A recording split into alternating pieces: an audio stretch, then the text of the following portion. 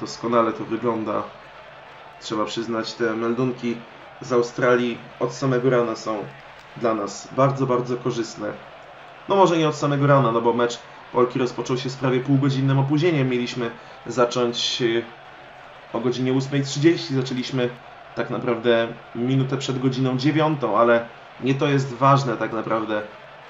Ważne jest to, że tutaj wszystko idzie zgodnie z planem, że nie ma już większych opóźnień, że nic się nie dzieje. No i to, że oczywiście Polka zmierza po zwycięstwo, chociaż oczywiście teraz serwuje Belinda Bencic i zaczyna z wysokiego C, trzeba powiedzieć tego gema serwisowego, bo asem serwisowym.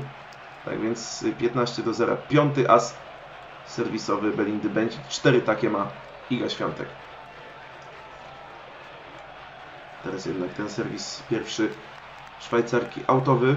Ależ return Igi Świątek zagrany po skosie. Nieprawdopodobnie gra Polka. No nawet jeśli tego gema mm, serwisowego y, Szwajcarki nie wygra, jeśli nie przełamie jej y, Polka, no to nie wyobrażam sobie, by nie wygrała tego spotkania, bo jest po prostu o klasę lepsza w dzisiejszym spotkaniu od Bencic.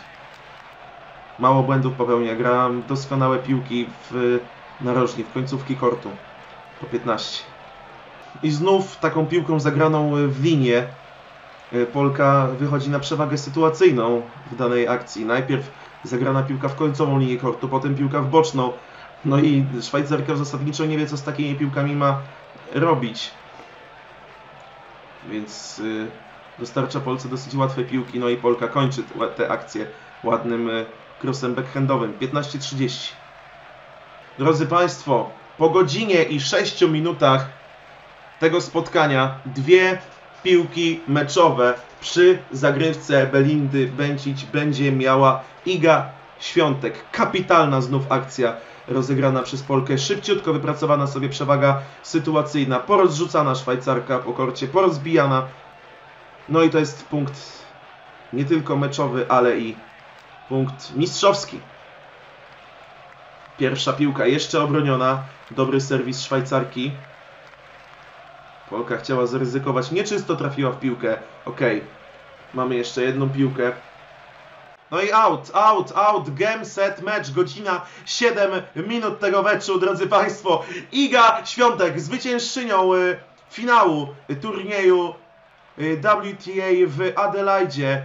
No i powiedzmy sobie to y, teraz y, otwarcie, jest to zwycięstwo w pełni zasłużone, zarówno y, w tym spotkaniu, jak i w całym turnieju. Polka nie straciła nawet jednego seta. Ten finał wygrany z Belindą Bencic 6-2, 6-2.